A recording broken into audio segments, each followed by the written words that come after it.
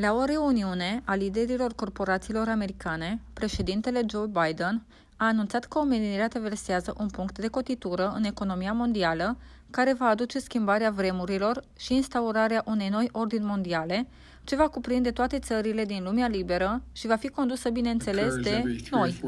Cred că ne aflăm la un punct de inflexiune în economia mondială. Nu doar în economia mondială, ci în lume. Aceasta apare odată la 3-4 generații. După cum i-a spus unul din oamenii de top din domeniul militar, mi-a spus la întâlnirea privind securitatea, 16 milioane de oameni au murit între 1900 și 1946.